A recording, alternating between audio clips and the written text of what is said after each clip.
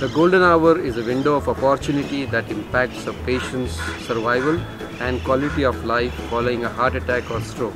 Time is brain after stroke. Time saved is brain saved. Time lost is brain lost. First 60 minutes is also called golden hour after heart attack or stroke. Most people don't know how to react after heart attack or stroke and they miss this golden hour. We say time is muscle after heart attack. To reduce the damage after heart attack or stroke, it is important to get to the hospital with emergency care facility as soon as possible. So remember, time is crucial. Sooner you act, faster we can help you to treat heart attack or stroke. One number for emergency care for heart attack and stroke patients. Remember MHB 60.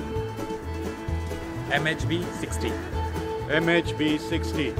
MHB 60. MHB 60. MHB 60. MHB 60. MHB 60.